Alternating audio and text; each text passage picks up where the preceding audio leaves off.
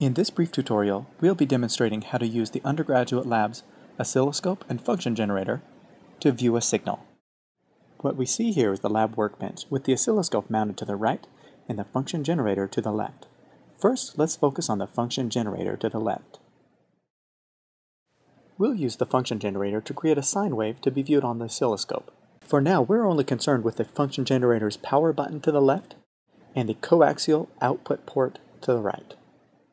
The other buttons allow the user to change the shape, amplitude, and frequency of the output waveform. For this example, we'll be using the default values. We turn the function generator on by pressing the power button. The display indicates that a 1 kHz sine wave is being output.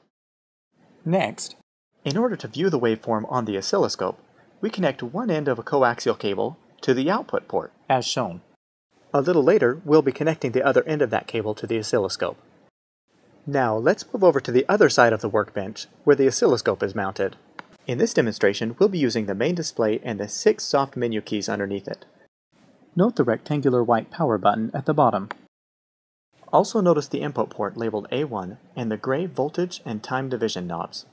Above that lies the measurement section. We'll be using the voltage measurement button seen at the top left.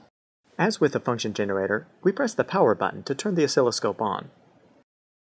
Next, we'll take the other end of the coaxial cable which is connected to the function generator and plug it into port A1. When a connection is made, the 1 kHz sine wave appears on the screen, but it is difficult to see its detail because it is improperly scaled. To fix this, we simply press the white auto scale button. This changes the display's horizontal and vertical scales, allowing the waveform to be easily seen. The display's vertical scale can also be changed manually by turning the voltage division knob. Similarly, the horizontal scale can be changed by turning the time division knob. Keep in mind that changing the scale does not affect the waveform, but only changes how it is displayed. We now press the Measure Voltage button to bring up the voltage measurement menu on the display.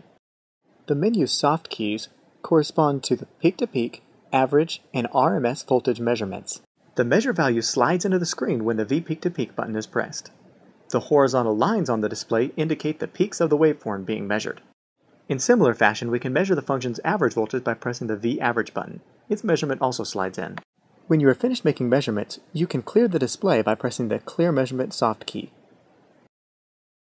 This concludes our brief tutorial of the function generator and oscilloscope. Feel free to experiment with them on your own. Just remember to leave things as you found them when you're done.